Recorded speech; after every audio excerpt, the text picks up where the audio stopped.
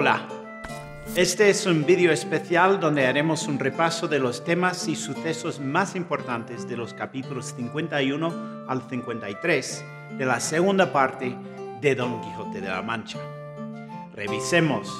El giro epistolar de la novela dirige nuestra atención hacia una secuencia de marcos y perspectivas más compleja que nunca.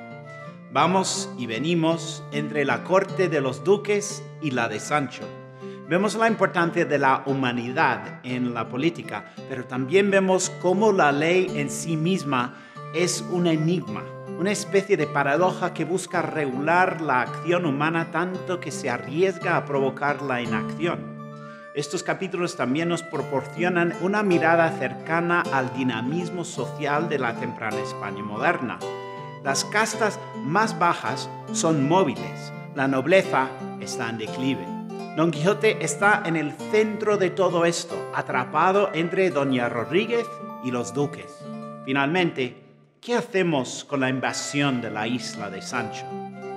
Como la relación previa que Don Quijote hace entre Clavileño y el caballo troyano, la invasión de Barataria parece referirse al problema morisco. Sancho no puede hacerse cargo de la violenta verdad de la política y se resigna a la oscuridad. Esta extraña metáfora combina la hormiga del prólogo de Rojas de la Celestina con el asno de Apuleyo en el asno de oro. Quédense en esta caballeriza las alas de la hormiga. Lo único que Sancho quiere es tener zapatos normales, lo que añade ironía a su estúpida ley de fijar el precio de los zapatos.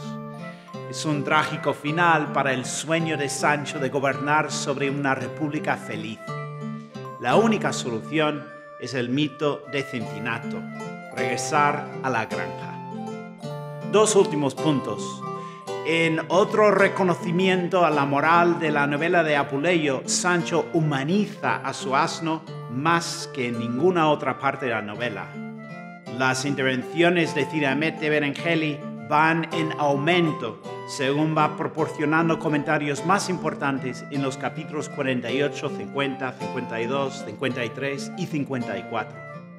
Como podemos ver, el tratamiento de Cervantes de la cuestión morisca está llegando a su clímax. Hasta aquí el resumen de los capítulos 51 al 53 de la segunda parte. Continúa disfrutando de esta aventura en el próximo vídeo de nuestro curso Descubre Don Quijote de la Mancha. thank